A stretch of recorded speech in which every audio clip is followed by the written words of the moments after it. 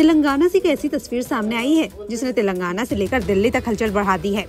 ये तस्वीर देखिए, कांग्रेस चीफ मल्लिकार्जुन खड़गे, सबसे पावरफुल महासचिव K C Venugopal, Telangana CM Revanth Reddy, deputy CM Bhatti Vikramarka, ये सब इकट्ठा हुए हैं क्योंकि केसीआर को छोड़कर बीआरएस के सांसद बोडला कुंटा कांग्रेस का हिस्सा बनने जा रहे थे। नेता ने पेदापल्ले लोकसभा सीट से कांग्रेस को ही हराकर चुनाव जीता था। फ़ोटो में इतने भारी भरकम नेता बीआरएस के पूर्व नेता का स्वागत करते हुए इसलिए गदगद दिखाई दे रहे हैं, क्योंकि तेलंगाना में मौजूदा सांसद को तोड़ना केसीआर के लिए बड़ा झटका है। बोला कुंटा नित्था बीआरएस के मौजूदा सांसद है, इसलिए उनकी ज्वाइनिंग दिल्ली में कांग्रेस आलाकमान के हाथों से कराई गई, ताकि बाद में बड़ा मैसेज निकले कि केसीआर को उनके नेता छोड़ रहे हैं और कांग्रेस का हिस्सा बन रहे हैं।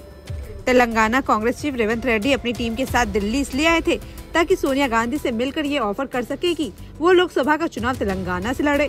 रेवंत रेड्डी ने सोनिया गांधी को खम्मा के साथ नालगोंडा और महबूब नगर से सीट भी बताई चुनाव लड़ने के लिए। नेता को 2019 में केसीआर ने कांग्रेस से छीन लिया था। सीट का लालच देकर बीआरएस ने नेता को अपनी ओर कर लिया था और वो हवा का रुख भाप कर केसीआर के साथ जीत के लिए चले भी गए थे और जीते भी थे। अब एक बार फिर 2024 के लोकसभा चुनाव से पहले हवा का रुख भाप कर कांग्रेस में लौट आए हैं। कहा जा रहा है कि नेता को भरोसा दिया गया है कि उन्हें उनकी ही लोकसभा सीट से चुनाव लड़ने को दिया जाएगा।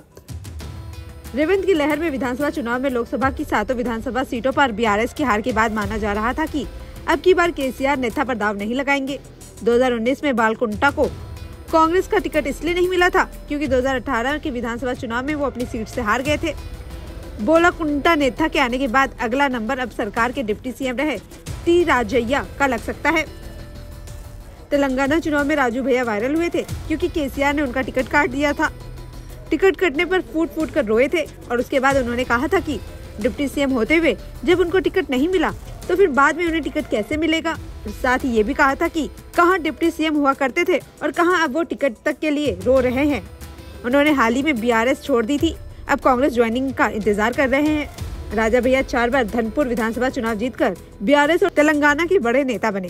लेकिन टिकट के लाले पड़ने के बाद उन्होंने पार्टी को सलाम नमस्ते बोल दिया।